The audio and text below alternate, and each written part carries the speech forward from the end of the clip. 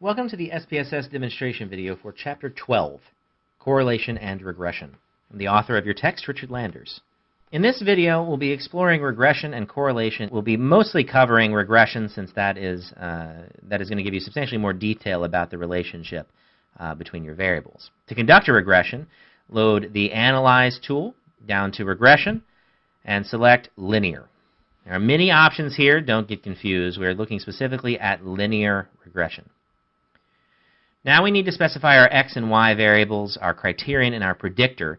Cost in this case is our predictor, so we want that in the independent set, while percent profit is our dependent variable, uh, so is our criterion, so we want it up in the dependent set.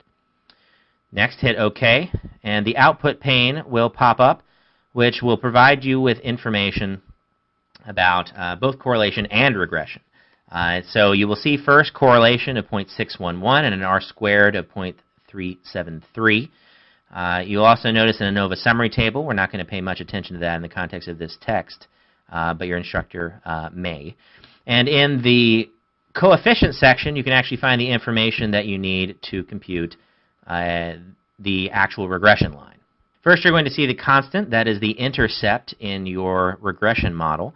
Uh, you're also going to see this number uh, uh under again also under unstandardized coefficients associated with your variable. So that means this is your slope.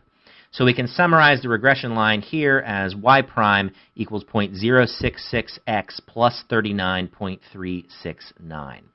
Uh, so that's how you can derive your, uh, your regression line. We can also see a t-statistic and values associated with the slope. This corresponds with the p-value associated with your correlation. So your correlation, statistical significance, uh, it is statistically significant in this case, p equals 0.035.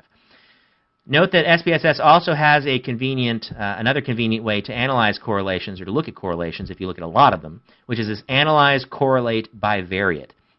If you go here and select all the variables that you're interested in looking at correlations between and hit OK, you will get a what's called a correlation matrix, where it, it examines uh, correlations at the intersection of multiple variables.